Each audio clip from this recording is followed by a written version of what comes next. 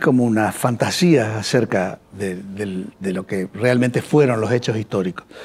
Y de ahí nace, por supuesto, la fascinación con la historia y la fascinación por imaginar qué es, qué fue, cómo fueron.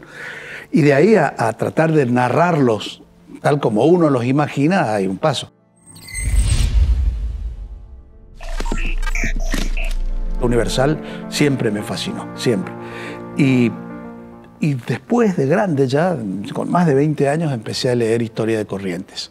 Y por supuesto, el, amor al terruño, el amor a la, propia tierra hace mucho y eso, bueno, por supuesto, determinó que me incline por eso.